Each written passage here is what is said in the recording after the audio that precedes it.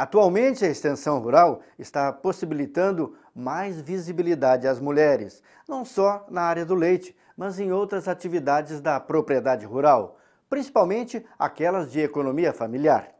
No campo, as mulheres viram na prática assuntos como pastagens perenes e irrigação, criação correta de terneiras e melhoramento genético, diversificação na propriedade leiteira, troca de experiências e palestras.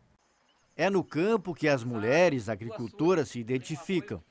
As atividades são semelhantes nas propriedades, mas sempre tem algo para ver, observar, aprender. As vacas, além de pastorear o verão inteiro aqui, no inverno elas ficam no azevém durante o dia e dormem à noite. Então a, a deposição de esterco é muito grande. Né? Sempre aprendo bastante. Uhum. Nos dias de campo a gente sempre vai e a meu esposo a gente não, não falha nenhum. Uhum. E a gente aprende bastante, aprendemos bastante. O que, que a senhora faz atualmente com o seu rebanho? Ah, é só é pastagem. A gente uhum. faz pastagem. Uhum. Para elas e ração. O que uhum. precisar, a matéria está pronta para nos ajudar.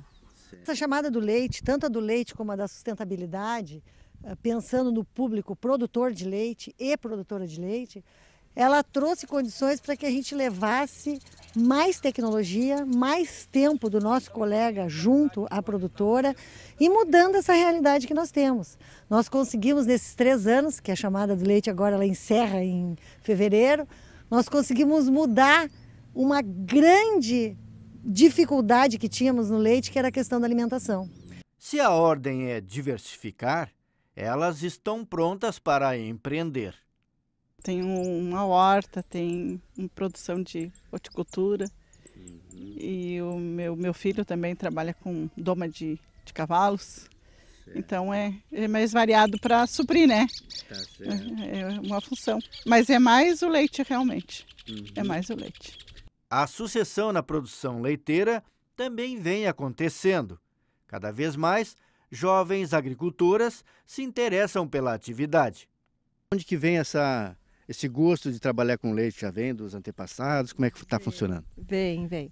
O meu pai era, é produtor de leite há 20 anos e aí ele que nos incentivou a começar e fazem três anos que a gente está na, na atividade. E essa transição, passagem de pai para filha, está é, dando conta do recado? Como é que está sendo? Tá, vou confessar que é meio difícil, né? A gente tem, mas tá, é bom, a gente tem que gostar, né? Da atividade, mas vale a pena. Ele vai falar um pouco para vocês do histórico dele aqui e depois a gente continua no morango, tá bem? O produtor rural também tem que fazer a sua parte. Na propriedade, tem espaço e oportunidade para todos. Aqui trabalha eh, eu, o Gil e a minha esposa Erna e o meu filho Cristiano, nós três. Uhum. Não tem empregado nenhum, então pode trabalhar mulher, tudo. E o negócio é diversificar? É, o negócio é diversificar, porque só com fumo e leite não dava certo, aí começamos com leite e morango, está dando certo.